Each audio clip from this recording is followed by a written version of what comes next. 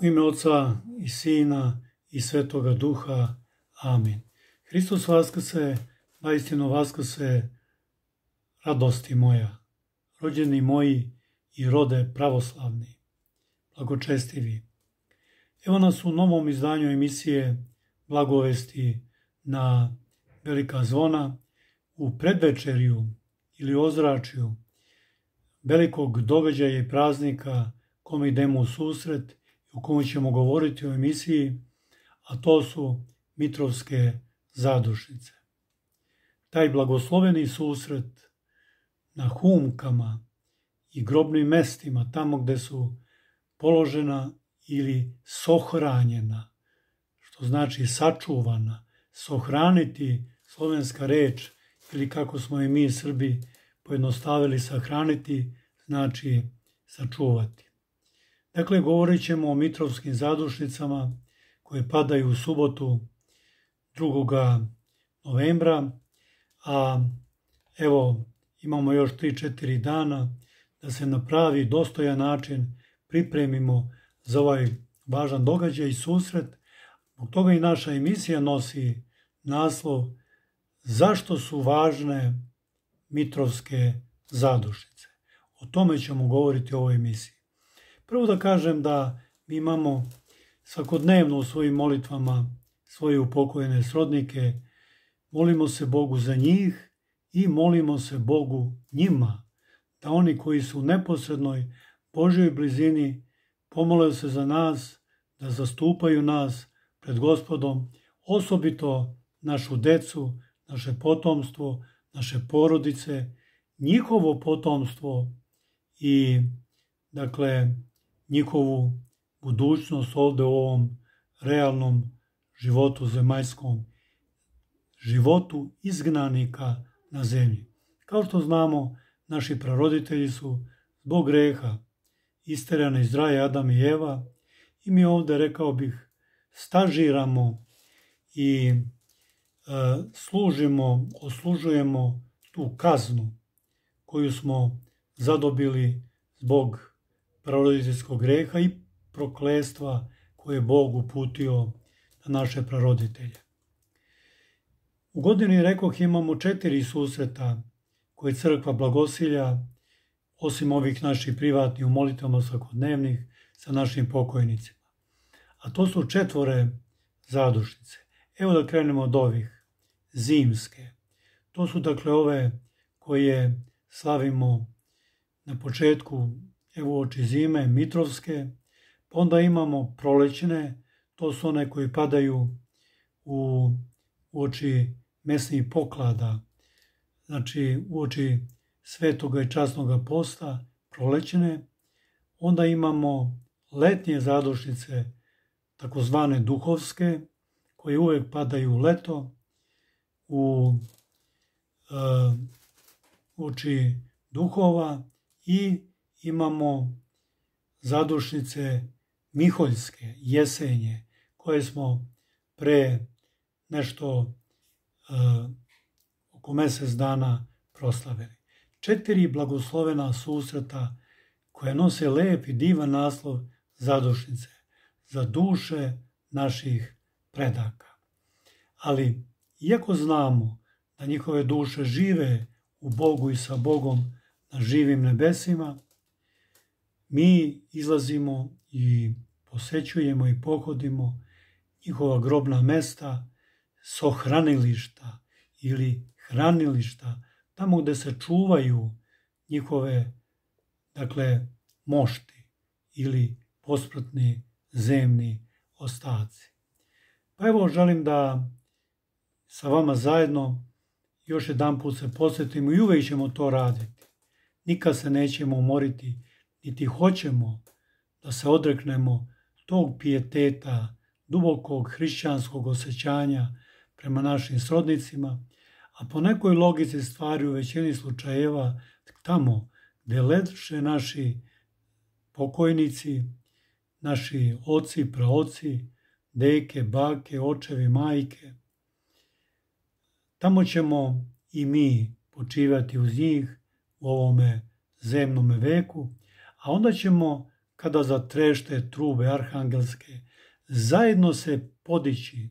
Zato se i porodično sahranjujemo porodične grobnice i u jatu tih grobnica ili buketu, da ih tako nazovem, da odatle kada zatrube trube arhangelske, kada gospod ponovo dođe, kada vaskrsnu tela, pamtimo to, u opštem vaskrsenju vaskrsnuće tela i sjediniti se sa dušama koje su sada sa Bogom i u Bogu na živim nebesima i tada će tada ćemo dakle kao nova bića u jednom drugačijem preobraženom telu krenuti kako piše u poslanici svetog apostola Pavla Solunjanima Bogu u sretanje na oblacima i vazduhu. Ali dotle mi pohodimo, poštujemo izuzetno grobna mesta i počivališta naših predaka kao velike svetinje. Nemojmo zaboraviti, želim da se podsjetimo, prvi hrišćani hramave su gradili na grobovima svoj, svojih pravednika. Pravednika, mučenika, stradalnika, ispovednika, svedoka Hristovih, sveti apostola, svetitelja, svetih otaca. Dakle, hramove, grobovi naših predaka svetih su temelji naših zemaljskih hramova, gde se okupljamo, gde sa Bogom razgovaramo, gde jedne druge viđamo, susrećemo u ljubavi prema njima i prema Bogu, gde se pričešćujemo, gde služimo službe Božje u tim hramovima, gde se pred ikonima molimo, krštavamo, venčavamo, opojavamo i druge svete tajne i radnje vršimo, dakle, a u temeljima njihovim počivaju kosti pravednika. Dakle, temelj zemaljske crkve je svetinja tela naših upokojenih srodnika. Zašto? Apostol je napisao, telesa su vaša hram duha svetoga.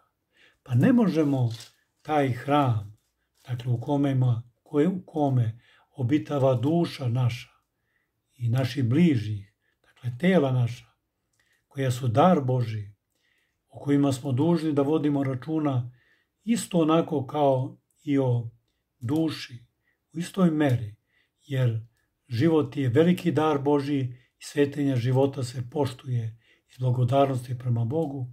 Dakle, ti hramovi Duha Svetoga se polažu u zemlju, vrše se molitve određene koje crkva propisuje, opela, parastosi, pomeni, svako dnevno negde čak u nekim našim manastirima se izlazi na grobove, vrše parastosi, prelevaju grobovi, a mi to radimo, dakle, iz poštovanja prema našim bližnjim, kada osetimo za to potrebu, bolje što češće, ali neizostavno četiri puta godišnje na ove dane četvore zadušnice koje pomenu. Zimske, prolećne, letnje i jesenje. Pa ide sad da kažem neku reč. Rekao sam to u jednoj emisiji u prologu o jednoj opasnoj sektaškoj zabludi koja se uvukla čak i u naš crkveni život gde mnogi počinju da uče i veruju da duše naših pokojnika kada se odvoje od tela prosto se uspavaju i obitavaju u jednoj vrsti nirvane budističke, dakle te mnogobožačke, paganske, indijske, kineske, e, dalekog istoka, kako uče, kako je Buda učio, da obitavaš onako u jednom snu, nirvani, dakle u, u nebiću, da tako kažem. I samo ne znam kako ti ljudi, nažalost, i neki bogoslovi, pa se to čak provlači negde i u našim bogoslovskim spisima, seminarskim radovima, učenjima, delima. Pa kako objašnjavaju pojavu da ne idemo dalje? I događaj preobraženja gospodnjeg kada su se na tavoru pred očima trojice apostola koje je gospod poveo da budu svedoci i da nama to prenesu i evo ja sada to koristim zahvaljujući svedočenju tih trojica apostola Petra, Jakova i Jovana, da su se na tavoru uz Hrista, koji se preobrazio, odeća njegova beše bela kao sneg, a lice njegovo kao svetlost i sunce. A pojaviše se i starosavetni pravednici Mojsi i Ilija koji su razgovarali sa Hristom. Pa kako ti sada vajni učitelji novog, nov, novih učenja tumače tu pojavu? Šta se to dogodilo?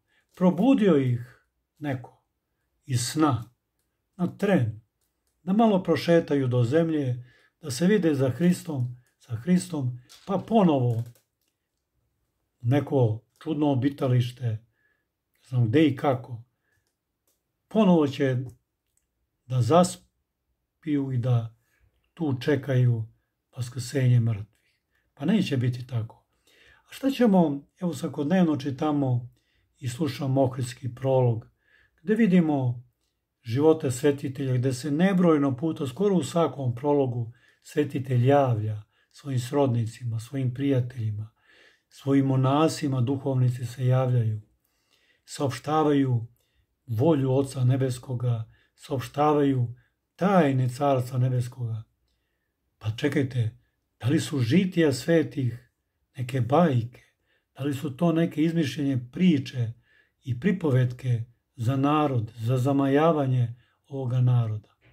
Da li su e, naša komunikacija sa našim upokojenim srodnicima, koja je živa, životvorna, živonosna, ja sa mojim sinom, sa mojim ocem, sa mojom majkom, dakle, sa mojim prijateljima, sam u živoj i stvarnoj komunikaciji, čak u pojedinim trenucima na glas razgovaram sa njima i čujem u odjeku moga glasa i jehu njihove odgovore i njihov glas i njihove poruke.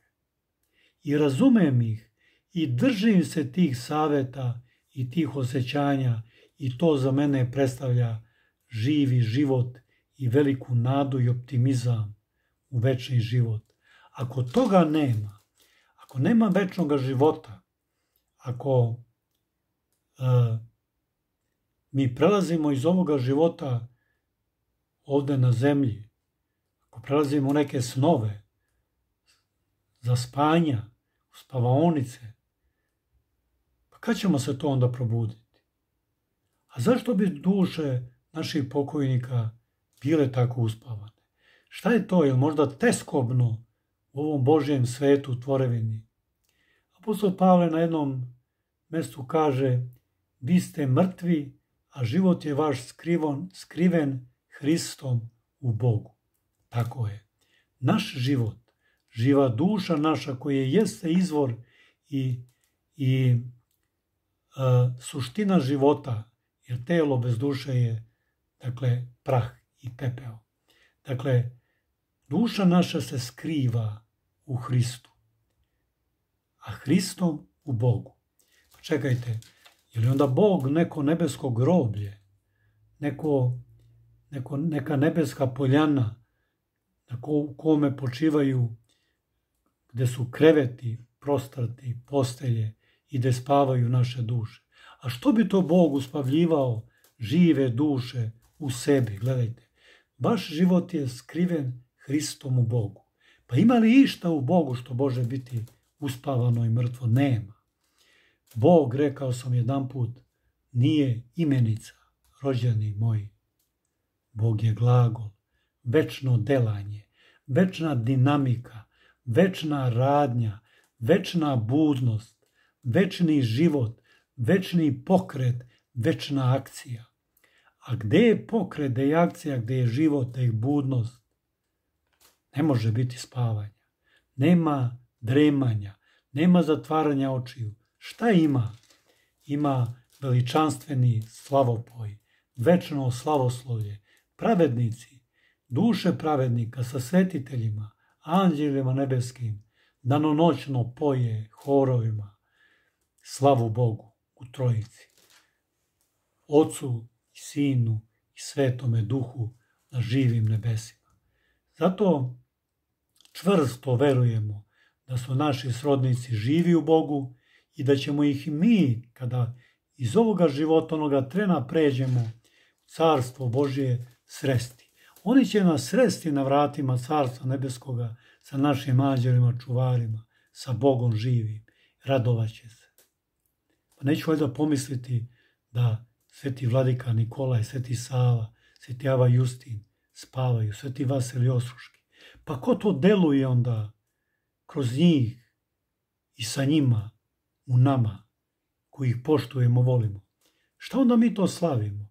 Čekajte, da li onda moj sveti Georgije uspavane, uspavana trnova ružica koja spava, a ja ovde e, ikonopišem njegove ikone, palim kandilo, molim se, lomim slavski kolač i molim se njemu da pripomogne, da doturi tu moju molitvu, da je pogura, govorim zemaljskim kolokvijalnim jezikom i da pomogne pred Bogom da se pomoli za mene i za moju porodicu. Ti, brate, tvome svetom Jovanu, ti drugi svetom Nikoli, svetom Arhangelu, zatim svetome Marku, evo sada svetome Luki, je li mrtva sveta petka? Otkud onda tolike sada hiljade i hiljade Beograđana na tvrđavi svetoj petki u pohode, koji su došli da se pričeste, da se mole, da jele osvećenje, da se ispovedaju, da uzmu njenu vodicu. Jel mi to idemo spavačici, uspavanoj trnvoj ružici, rekao? Ne. Idemo živoj svetiteljki i u Jaši, i u Beogradsku trđavu crkvu Ružicu i kada idemo na grobove svojih pokojnika znamo da su duše njihove žive i da su tog trena kada mi dođemo na njihova grobna mesta, oni tu sa nama prisutni. Čvrsto i snažno to verujem, zato i za glasa kad dođe na grobove mojih srodnika uzvikujem Hristos vaskase, vaistinu vaskase. I na kraju savet. Evo, drugoga, dakle, u subotu, 2. novembra, zadušnice, rođeni moji. U gradskim crkvama ima služba, a ponegde i u seoskim, obavezno otiđemo na službu na zadušnice. Zapalimo svećicu, makar onu najmanju, ali ne na plamenu neke tamo druge sveće ili naše šibice. Zapalimo je na plamenu ljubavi svoga srca, snažne i duboke vezanosti vere, nade, ljubavi, da su naši pokojnici živi, da su sa živim Bogom i da očekuju susret naš, nas sa njima posredstvom živoga Boga na nebu. A onda pričestimo se. Oni koji redovno poste, kako crkva propisuje, sve postove srede i petke tokom cele godine i ponesimo iz hrama, pre svega u naš dom najpre, tu molitvenu atmosferu, zapalimo kandilo pred ikonom, pomolimo se tu u domaćoj atmosferi zajedno sa svojom porodicom, zapalimo i svećicu za pokoj duša naših pokojnika, da i Bog oprosti brojna sagrešenja, čemu smo skloni svi, a odatle u jednoj divnoj, trepetnoj pobožnosti krenemo na humke naših pokojnika. Sada je, zašto su važne ove zadužnice? Evo, vidim napolju veće požutelo lišće, trava vene. Nemojmo dopustiti da osane korov na grobovima naših pokojnika. Ponesimo sada, kad pođemo, grabljice, metlicu, flašu vode, četku. Sve ono što može nam poslužiti da jedan na lijep, divan način uredimo grob. Neka prvi sneg padne na čisto mesto. Na čisto kao što i sam sneg koji iz neba pada čist. Nemojmo da zakorovimo naše grobove. Nismo baš poznati kao uredni hrišćani kada su u pitanju grobovi naših srodnika. Ponesimo vode, krpu, prebrišimo spomenik, očistimo sve, ali pre, a onda kada sve to uradimo, onda pristupimo molitvi. Saberimo se, pozovimo sveštenika ako smo mogućnosti da obavi pomen, ako nismo, stanimo okolo groba. Napravimo hram od naših telesa ako nas više ima, ako je brojna porodica i pomolimo se zajedno Bogu. Čitajmo molitve koje znamo, koji su nas u mladosti učili. Iskreno se molimo i spojimo se u mislima, osjećanjima, pijetetu sa dušama naših srodnika. A onda neprekidno ponavljajmo taj slogan Hristos vaskase. Mnogo je važan. I otpevajmo Hristos vaskase na grobu. Ako ne znamo, izrecitujemo ovako. Hristos vaskase iz mrtvih, smrću smrć pobedi i onima koji su u grobovima život darova. Dovoljno će to biti. Zapalimo svećice tu, okadimo grob tamjanom, mirisom tamjanom da zamiriše miris duha svetoga, celivajmo krst, ali neprekino kažem sa usana, šapućimo Hristos vaskase, vaistinu vaskase. Neka radost vaskrsenja dominira na tome svetome mestu, jer zbilja groblja su sveta mesta kao hramovi. Pričajmo onda o njima, evocirajmo uspomena. uspomene. Sećajmo se divnih trenutaka. Nemojmo govarati. Sećajmo se onoga što je lepo, što je dobro. I u jednoj takođe svečanoj atmosferi i ozbiljnosti, pošto celivamo krstove njihove, uklonimo odatle svaki koro, ne nosimo hranu. Hrana se ne nosi, to je banalno.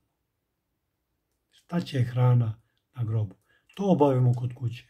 A onda kad celivamo krstove, prekrstimo se, poklonimo se njima kao kad iz hrama izlazimo, otiđemo u svojoj kući, tu možemo obaviti ručak i naravno kao kruna toga dana učinimo bilo kakvu i bilo kome milostinju. Milostinja je najmoćniji prilog i molitva koja pomaže dušama naših bližnjih upokojenih srodnika. Eto, otprilike tako provedimo ove dakle mitrovske zimske zadušnice, neka gospod upokoji duše naših pokojnika, neka im daruje carstvo nebesko, neka budu u što većoj blizini Božjoj sa pravednicima, svetiteljima, anđelima, neka poju Bogu slavu, neka se mole Bogu za nas greše na zemlji, neka pomognu i neka nas čekaju. Svi ćemo doći tamo, niko nema ta, tu privilegiju, niti izuzetak, da neće poći tim putem Bogu i bližim srodnicima upokojenim u sretanje. Neka je pokoj dušama naših pokojnika, a živima, porodicama našim i našem narodu i svima našim bližnjima život i zdravlje i blagoslov Boži sada uvek kroz sve vekove vekova. Amin.